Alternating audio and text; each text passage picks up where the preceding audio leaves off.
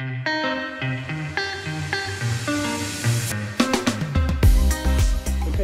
hello everyone. Happy Mid-Autumn Festival and welcome to the second session of Entrepreneurship Academy 2020. So before we start, let me answer frequently asked questions on recording. We have been recording all the sessions and we'll share you the recording after addition, probably after half of the session. So no worry, we will send you the links. Okay, so today we will talk about design thinking. Let me introduce our speakers first. Keith is the co-founder and CEO of InnoPage Limited, a mobile app development startup. Since 2010, Keith has led InnoPage to receive multiple industry awards, including Hong Kong ITC Awards and Innovative Entrepreneurs Award for its innovative technology and products. He has been a mentor for various startup programs, as well as a part-time lecturer at Hong Kong Baptist University. Without further delays, let me pass the time to Keith. Thank you. Hello, everybody. Uh, today, we are going to talk about um, design thinking. So let me share the screen first.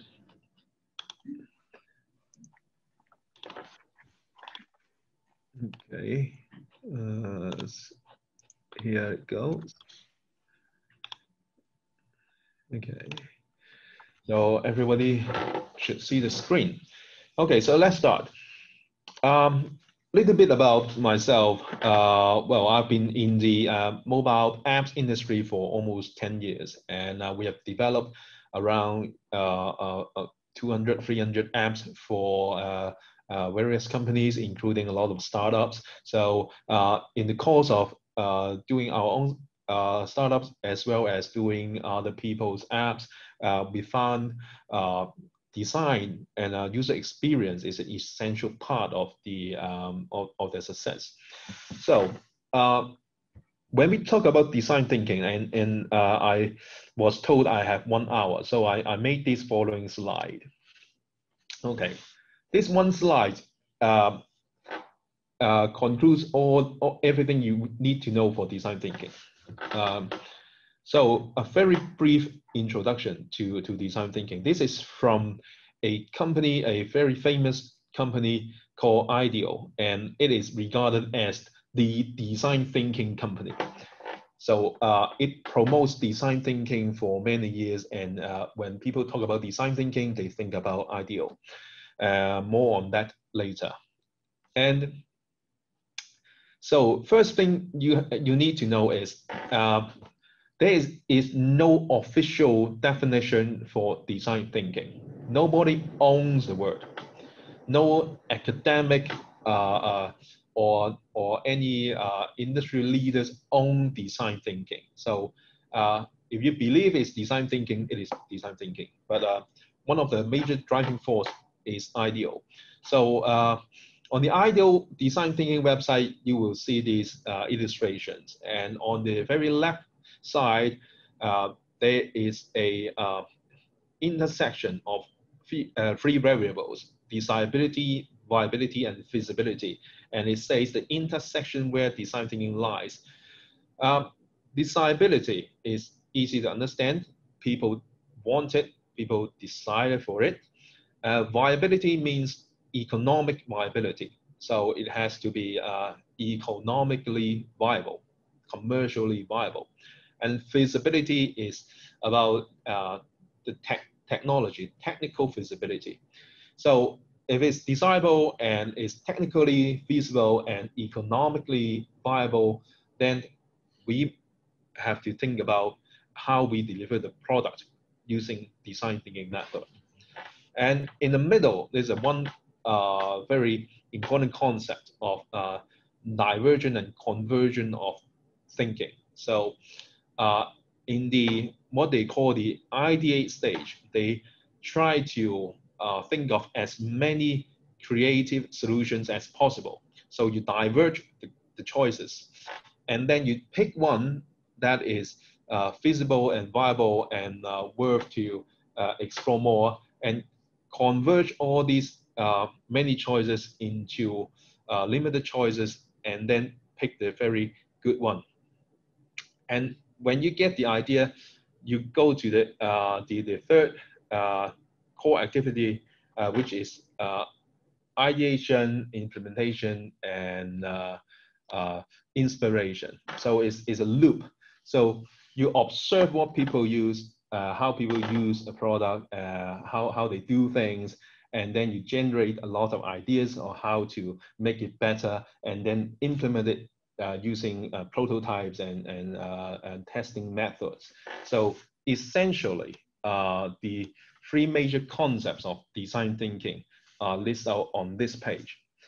So then I can go back in time and talk about a little bit history of how design thinking becomes what it is we know today. So, uh, and uh, before before we go into the history, uh, we talk about uh, the major driving force of design thinking. So, IDEO, I've mentioned is a, uh, a design company, and it has been uh, actively promoting the idea of design thinking for many years. So, this is the design thinking company. And then also Stanford D School, which is the Stanford Design School, also uh, has a lot of uh, contribution to the design thinking community. And of course, uh, I think uh, most of you will be familiar with Google Design Sprint. Also took a lot of inspiration from the concept of design thinking. So these are the major driving force. Okay, so um, before we talk about the history, there's one person you need to know. Uh, this person is Don Norman. Don Norman is the UX guy. Is a uh, when we talk about user experience, you talk about Don Norman. When you talk about design thinking, you talk about user experience. So you have to um, uh, learn about Don Norman. Uh, he's the uh, the I think the most um, inspirational uh, person in this field. So um, he is also the first person with a working title of uh, with the worst user experience, where he, he worked at Apple, uh, who he was uh, uh, serving as the user experience architect, and then later on become the vice president of Apple. So he says UX is everything. It's the way you experience the world, uh, your life, the service and app or computer system. but it is a system that's everything. So we think about system. So um, so Don Norman uh, is the is the um, is the major person in user experience and design thinking. But before Don Norman, there are other people also uh, uh, have a great influence in design thinking and user experience. So we go back in time and look at uh, the 1950s. Uh, there's a very famous product designer uh, called Henry Dreyfuss. He designed a lot of, uh, of things that, that we use every day, like the dial-up phones and trains and, and many other things that he designed. And he is one of the first person who has the concept of designing for people. So he designed products for human. Um, so he said, on the other hand, if people are made safer, more comfortable, more eager to purchase, uh, more efficient or just plain happier. To make people happier is a, is a key word. Um, by contact with the product, then the designer ha has succeeded. So he was a very uh, uh, forward-thinking person in the 1950s, uh, already had the concept of designing products for human. And uh, to everyone's surprise, Walt Disney was also regarded as one of the pioneer in user experience. So he says, uh, uh, always in the state of becoming a place where the latest technology can be used to improve the lives of people. And when he said that, uh, it was when he introducing the Florida project, which is the Disneyland. When he introduced the Disneyland, he thought about using the latest technology to improve the lives of people. So um, this is um, to surprise of many people. But he also has another quote that I would like to mention. He said, whatever you do, do it well. Do it so well that when people see you do it, they will want to come back and see you do it again. And, uh, and they will want to bring others to show them uh, how well you uh, do what you do. And if you think about it, you think about Google, or you think about Instagram, or you think about Facebook, or even you, if you think about TikTok, they are doing the same thing. They are doing something so well. They're not having, you know, uh, many uh, uh, different functions or features. They, they do something that they do so well. Like Instagram, they share photos, but they do it so well, then people want to come back to see it again. And they want to show other people that how well you do. And this is, um, is, a, is a universal principle. Uh, it, just like if you build a Disneyland or if you build an app, it's the same thing. So uh, this picture illustrates uh, um, user experience in design. If you design something that is against the, um, uh, the comfort of the users, then the users will find another way to, to, to use it. So uh, this picture depicts uh, when you have a design that is it doesn't fit the usage of the users. That is what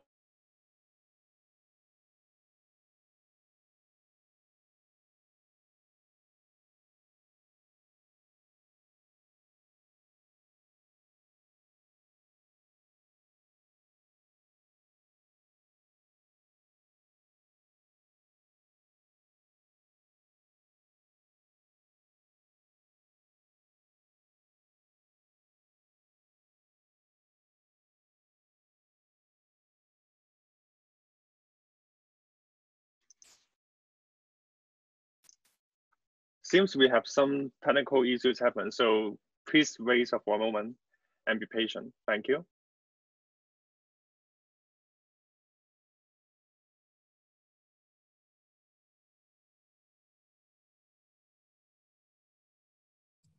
Yeah, we're getting back, Keith. Ah, I'm back. I'm sorry, sorry. Where where was I? Where was I?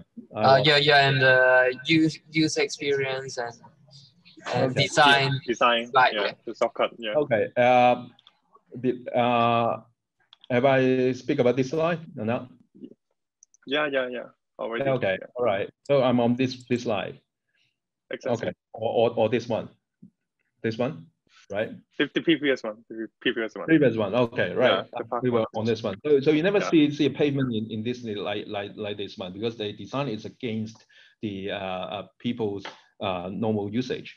So if you design something that is uh, that doesn't make the users happy, they will find their way to use it.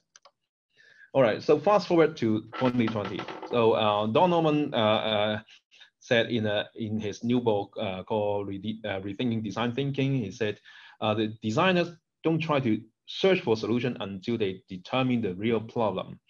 Uh, so we go to the root of the problem. And even then, instead of solving that problem, they stop to consider a wide range of potential solutions. So that uh, goes back to the first slide that uh, how we diverge the thinking. Uh, we, we try to have many as many solutions as possible, and then we converge it and pick one that really works. And uh, only then will they find finally converge upon their, their proposal this process is called design thinking. So the design thinking man's definition of design thinking is this. Okay, so now this is my one of my favorite gift. Um, it shows you a door that's meant to be pushed, but uh, the user is trying to pull it because there's a handle. And we have a name for this. There's a name for this kind of doors. This kind of doors is called the Norman door.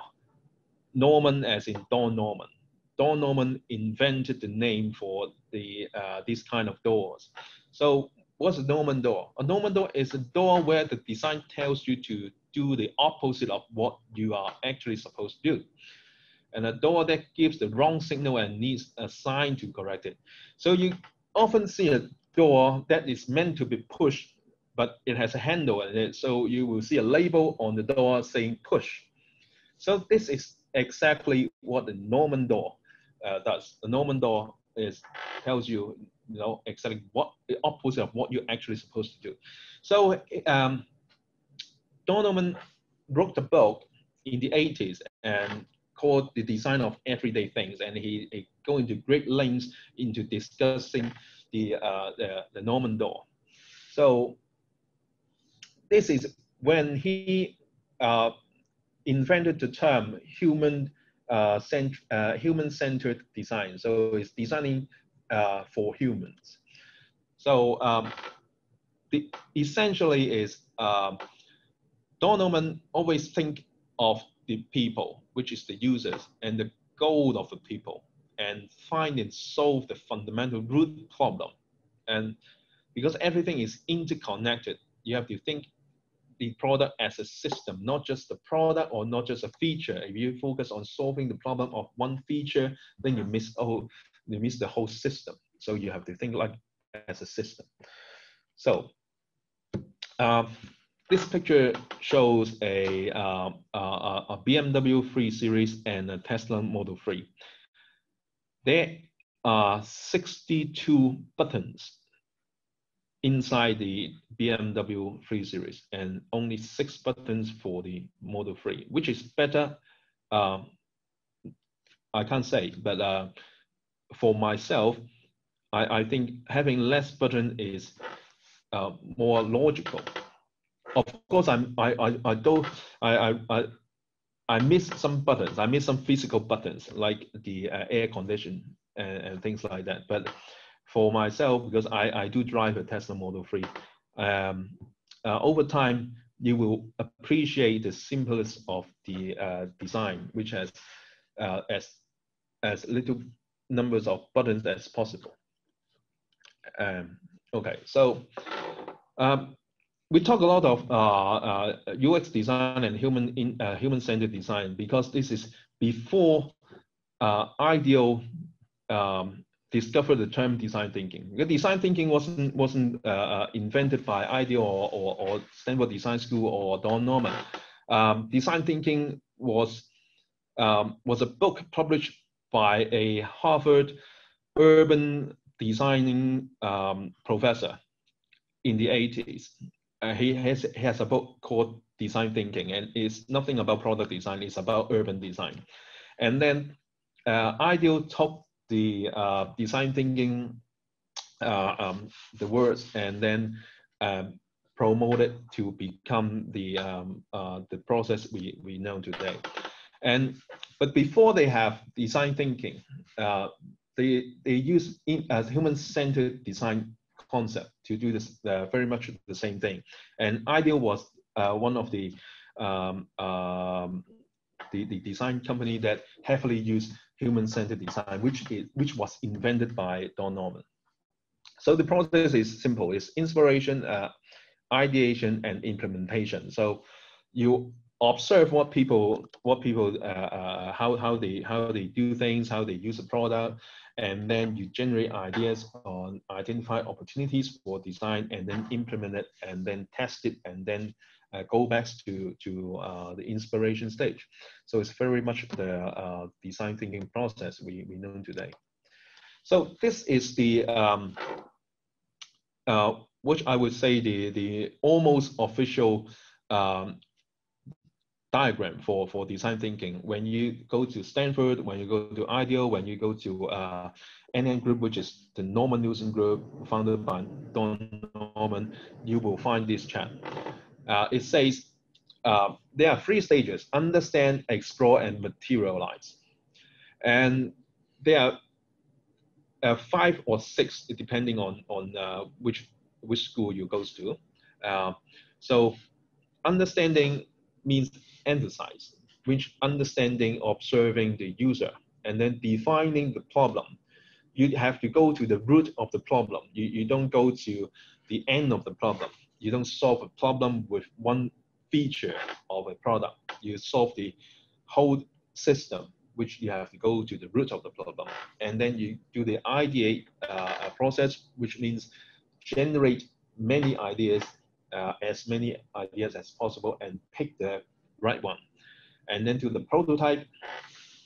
And after doing the prototype, you put it into test and then you go back to the prototype and if it doesn't work you go back to to ideate and then go back to uh, the previous process and when everything seems to be uh, uh, uh, getting together you implement it and then put it to the to the test uh, put it on the market and test it and then you go back to the, uh, the, the emphasize stage and then keep improving it. So one of the key concept of the design thinking process is you never stop. You keep going back and keep improving. So it's very much like uh, the lean startup concept that you may have come across. So because today we have so very limited time. So I'm not going to talk about each stage of the design thinking process, but I'm going to talk a little bit about the emphasize stage. The rest you, you may you may sort it out yourself uh, going online and, and looking at other materials. But uh, I'm going to talk about how I do, how my company uh, uh do uh, the what we do at the emphasize stage. Okay, but before I get into that, I have to uh, make another another quote from uh, Henry Ford. Um, he said, "If I ask people what they want, they would have said a faster horse or faster horses, uh, because they never seen an automobile. They never seen a car. There, there, there were no no automobiles in in his days. There were only horses. So." Um, for people like Steve Jobs, Steve Jobs like to quote a lot of uh, uh, this uh, Henry Ford uh, quote. Um, for people like Steve Jobs, they they don't do any um, uh, focus group. He, he doesn't believe in it uh, because he he thought they will never know what they want until you show it to them. But not everybody is Steve Jobs. So for, for the rest of us, we may have to do some observation and some uh, uh, user research to understand what the users want. Okay, so in the emphasize stage, we um, we do focus group, and we may do questionnaires, but mostly focus group. We observe how people use the product. We uh, listen to them and uh, talk to them and uh, get to know things that we don't know we couldn't do that with a questionnaire. We, we can do something with a questionnaire, but not uh, understanding deeply um, what they really um, uh, want or how they feel, uh, what's the experience. So we don't do a lot of, lot of listening in the focus group. We uh, um, uh, let them to talk and then we try to understand what they really need or what they what, what problem they're facing or what experience they're, they're, they're facing. So, uh, and then we develop personas, which is uh, a, a, typical profile of, of a targeted users. Uh, we may have uh, several different personas, but um, we, we can't do everybody. Uh, we have to pick the major uh, customers or users and then have a deeper understanding on, on this person. So we develop several personas to understand their backgrounds and what they need. And then we will map um, the, the user journey with the personas. So uh, the, the journey starts from discovering your uh, product, maybe an app or maybe, maybe a service or, or anything. So uh, the, the journey begins with discovery. So there are many other solutions to solve the same problem. Why do they have to pick your product or your service? So you have to under, understand why. And then each step uh, from discovering your product to actually using your product to uh, if it is if it is an app, uh, if they log out and then uh, and and and goes come back to your to your app and then log in again, this whole journey, we have to um, analyze each stage, um, the experience of the users of each stage what do they experience? What are the positive experience? What are negative experience? And what are pain points? If there's a negative experience or there's a pain point, how might we solve it? Or what is the root problem? If we understand the root problem, then we can uh, generate ideas at the idea, uh, the idea stage to find a way to solve that problem. But first thing we have to do is to identify the problem to identify the problem, we have to understand the experience. So, and then uh, after analyzing each, each step, each stage of the user journey, we can put it into an empathy map and we, we try to understand more about their feelings. There, there are many other maps. There are, there are empathy maps and there are other maps. Uh, uh, you have to pick the one that is uh, uh, suitable for you. So you, you can't you can't do everything because um, uh, there's just just too many of them. But uh, sometimes, I mean, most of the time we, we do empathy map to understand more about the user's feelings. Okay, and then we finish almost finished the emphasize stage. So we understand how they how they use the product or un understand uh, uh, how they feel on each stage, then we have to uh, define the problem. So the second second stage of understanding uh, the users is to define the root problem so that we can ideate, generate ideas to solve those problems, which uh, we don't have time to cover today. So um, I'm going to close this uh, presentation with, uh, oh, no, not yet. I'm going to talk about a little bit about the Android and iOS design guidelines. Because sometimes when we design the product, um, if, it, if it is an app, we, we can't just do anything that we like.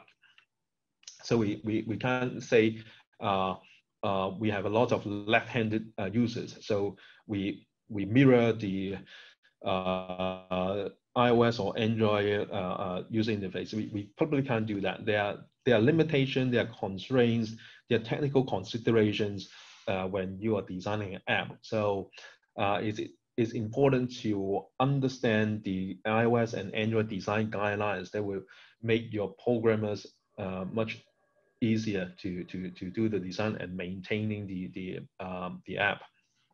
So uh, having the, the uh, generate a lot of ideas doesn't mean you, you can have wild ideas and then ignore the design guidelines. You still have to stick with the, the guidelines of the devices. All right, so I'm going to close this uh, presentation with, with a quote with, uh, from Steve Jobs. He says, um, design is not just what it looks like and feels like, design is how it works. So uh, it's very important because sometimes when we design things, we do what we like what the founders like. We, we don't think too much about the users. Uh, we don't uh, think a lot how the users use the product. We think about how we want the users to use the product.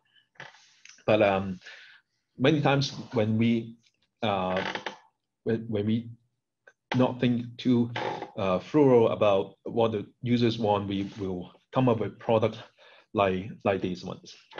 So whatever you do, you don't do this because and when you do when you just do uh, a product design that looks pretty to you or the the uh, product owner uh, and forget about the users you got these kind of products so uh, that concludes my presentation so uh, thank you very much uh, for coming today and um, i'm open for q&a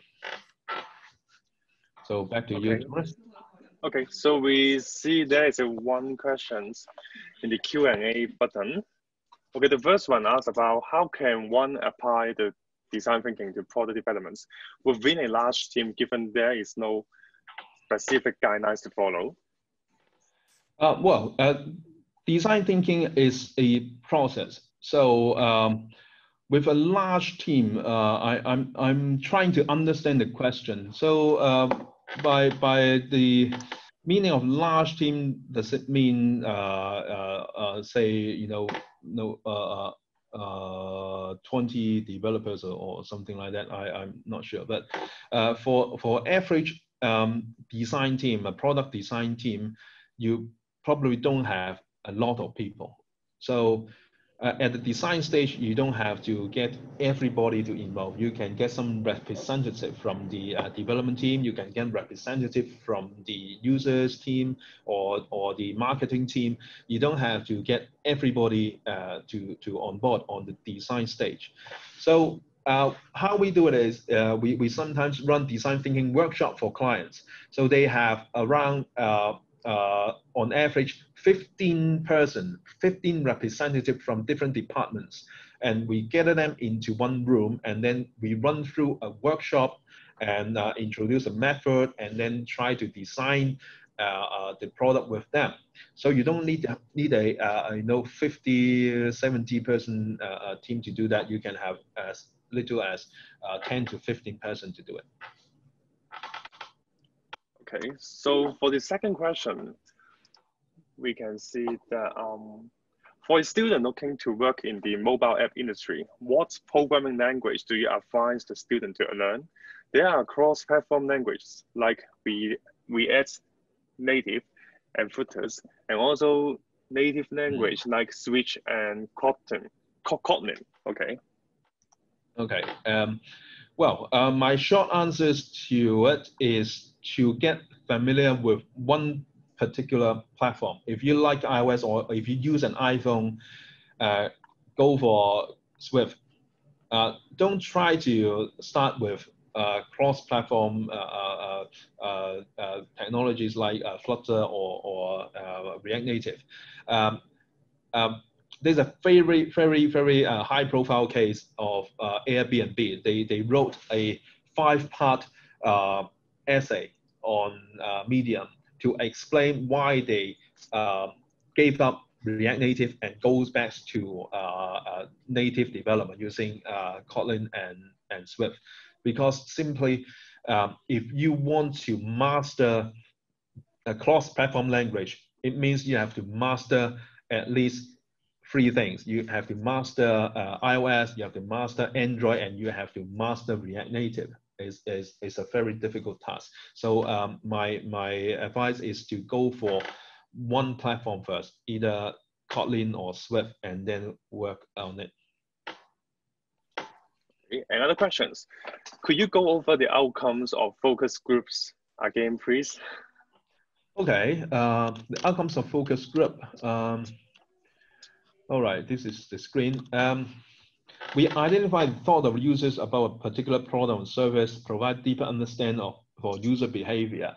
So uh, if you see the uh, uh, photos, say, oh, this is not our photos. Uh, because when we run focus group, we focus on two things. Uh, first thing is how they use the product. If it's an existing product and they want to enhance it, we give them the product to use and we do recordings. We record how they use the product. We record their facial expression, we record their, their finger gesture, and we record where they uh, uh, um, uh, they have a negative experience. And another one, another key objective is to we will talk to them. We um, we let them talk, and then we listen and we try to ask them questions, open questions, and then try to find out uh, uh, uh,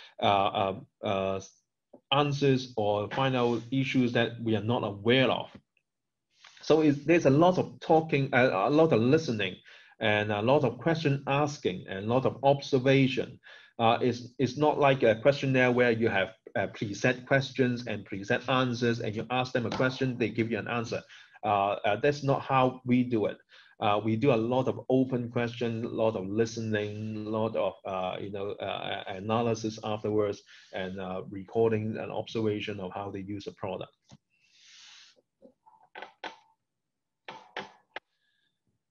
So another question is, um, how much time do you spend on every stage of the design thinking process? Like 50, 50% for empathy, 20% for uh, ideations, or 30% for execution?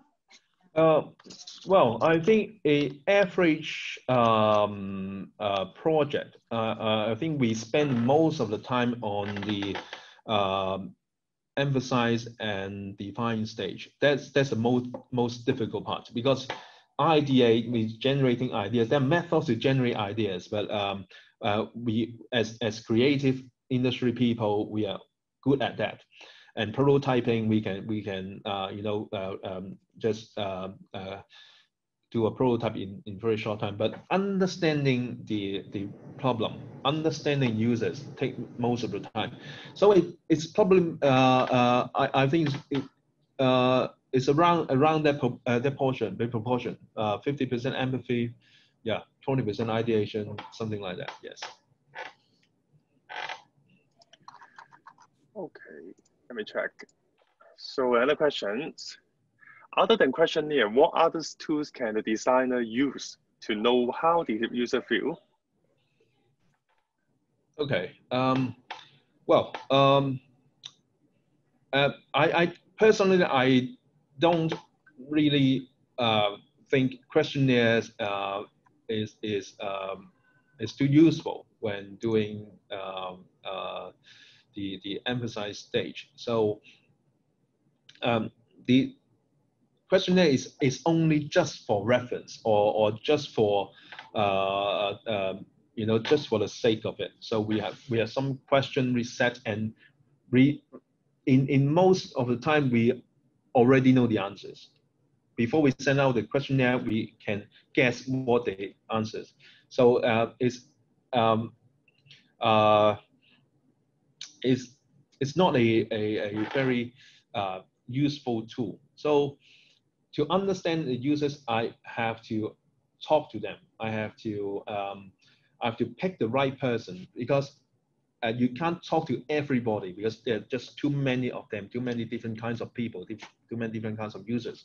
You have to uh, pick the, the um, target audience that, that you want to serve and then observe what they do, uh, uh, like what, uh, how we do it in the in a focus group. but that's, that's a difficult question because there's actually not many tools we can use. Okay, so another question is that there are three models of design thinking you have shown in at the beginning. So which one do you find it the most relevant to your own innovation experience? Oh, well, um, there's, there's only one model, actually. Uh, uh, they're not three models. Uh, on the first slide, I, I show the, uh, the, the, essence, the essence of design thinking, which the first thing is uh, where design thinking lies, which is uh, when, when desirability, viability, and feasibility meets. That's where design thinking is useful. And then the second uh, concept is to uh, diverge uh, and then converge the, the choices, the idea, the solutions. And then the first one, uh, the third one is the three steps, which is essentially what used to call the human-centered design. And then when they expand the idea of human-centered design, they make the, uh, they, they turn it from a three-step uh, process into a six-step process. So uh, it is, um, um, there's only one process uh, of design thinking. And uh, in most cases, we go through all these six steps. So it's, all these steps are relevant.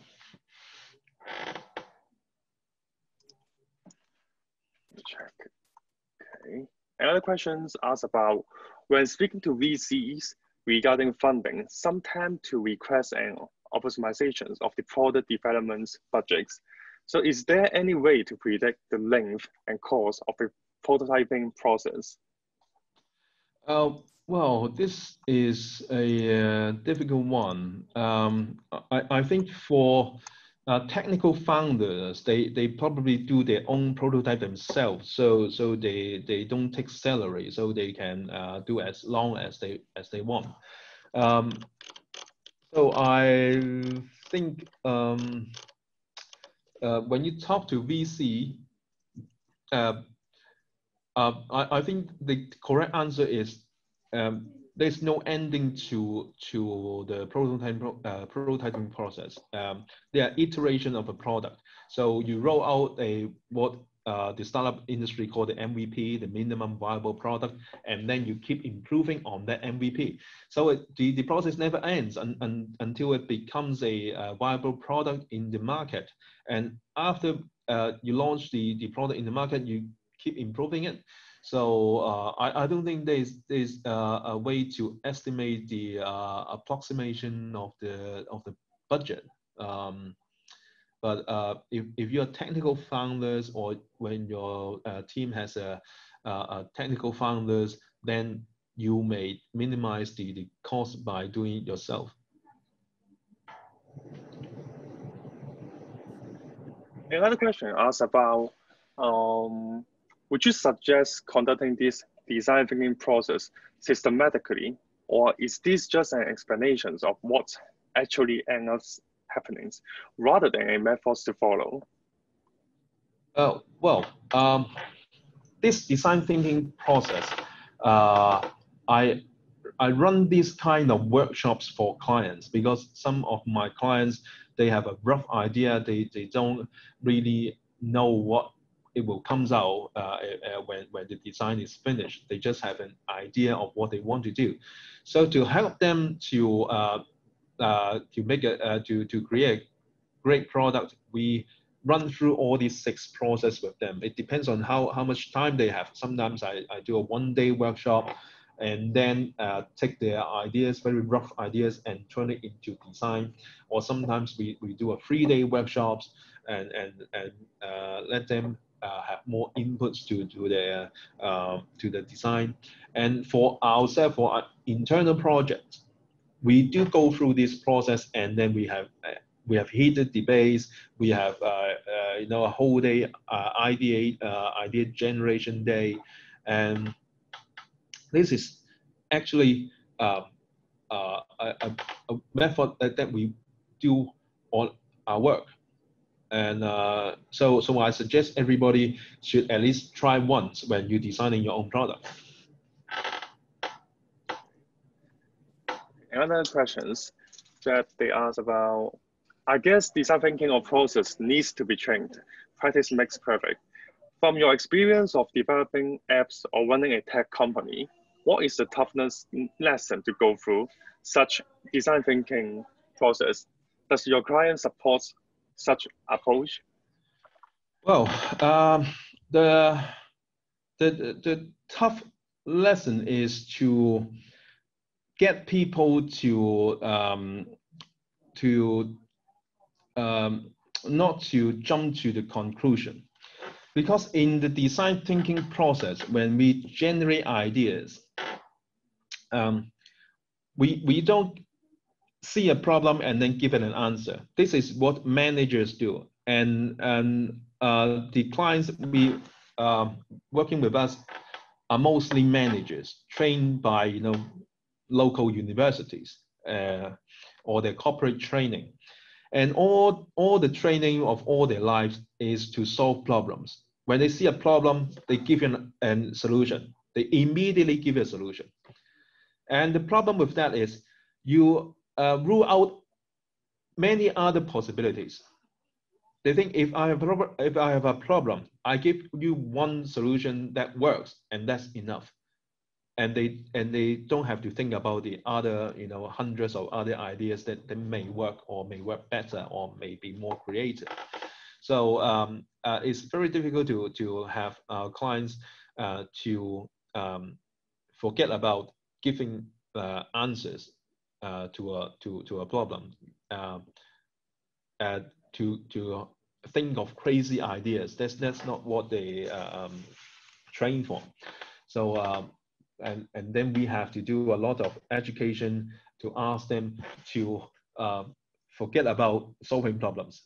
Uh, just focus on the root problem and then be be crazy, be bold to think of uh, uh, out of the box ideas. That's the tough one. Another feedback and question. So thank you for your presentation. Just wondering how to enter the field of user experience design and any suggestion to a better equip ourselves. Okay. Um, uh, uh, for the first thing is I don't think there is a field of UX design in Hong Kong. We, we are struggling to, uh, uh, to get our, our customers to understand the importance of UX design. So we have been doing this for, for last few years and uh, it's improving. So um, many clients now uh, are, more aware of UX uh, design. But I, I don't think it's, is um, big enough to become a field of its own. But if you want to become uh, a UX designer, uh, then I, I think you will um, need to have some basic uh, hard skills on, on design first because if, if you if you're not a, uh, a designer with hard skill like the uh, uh, Adobe design software suite, then um, then you, you, you cannot realize your, your own ideas uh, which makes it a disadvantage. So I, I think to go into the so-called UX design field, you must become a, a competent uh, uh, uh, designer, a digital designer first, and then you improve your, your UX uh, design skills. Okay, another question related to user experience and UI. So um, he asked, if I later hire designers, is it better to hire user experience designer and UI designer separately, or someone good in both fields? Okay, um, so it's related to the last question. Is um, I do not believe there is a role called UX uh, designer. I uh, UX and UI for me, for myself, always goes hand in hand, goes together. So you cannot have a, a, a, designer only good at UX design and doesn't know how to do UI, or you, you, you, you don't want to have a UI designer that doesn't understand UX. If you don't understand UX, how do you develop a good UI? So I think um, UI uh, design or, or the, the traditional uh, uh, uh digital designer uh, require some hard skills. They, they need to understand and how to use uh, Photoshop or, or Illustrator or Figma or, or, or, other, other tools. Um, so they have to be a designer itself, be a digital designer on its own, on, on their own, or and then to study um, UX design. Because UX design is something that a normal person can understand uh, with you know enough experience you you will understand how to do a good UX design. But without the UI design skill or digital design skills you cannot bring your ideas to life. So a simple answer is you want to have one that is that's good in both so the next question is I'm working in media industry currently. So where should I start to uh, innovate a new influence with my own skills across different industries? Okay. Um, uh, to innovate a new influence with my own skill. Mm, um, I'm not sure whether I understand fully on, on this question, but um, I think to innovate um, or influence your your your your own company or your own your own industry, you have to almost um, uh, every time you, you have to come up with something something new, something uh, radical, something that um, uh, some something that change the the way how how we work. Uh, if you find something that is um, it doesn't make sense to you, but it just becomes some kind of a dogma, some some some kind of what people used to do, and and you think that's not the way to do it, then try to try to come up with a new idea. Uh, uh, like when when a few years back, I, I tried to do a four-day work week because I want to reserve one day for my staff to do some innovation, uh, which I I I what I failed. didn't didn't have much success, but uh, that's how I uh, uh, try to do. You know, use my my my um, my influence to to do something different. So the next question is, thanks for the amazing talk. And then there are two questions. The first one is, how do you process all the feedback received from the focus groups or the user research because sometimes the suggestions from the focus groups tends to be very broad. So how do you narrow it down to implement your points? Okay. Um, well, the, uh, when we do a focus group, we do it in parts. Like uh, if we are uh, trying to understand uh, the um, uh, an app, then we will do it separately, uh, uh, uh, like each part. So we will ask them to uh, use each functions or we, we ask them to do some navigation on the app, or we try to give different tasks for them to finish. So when we finish the, uh, uh, the focus group, we will have a report on each part of the um, of what people uh, uh, uh, do.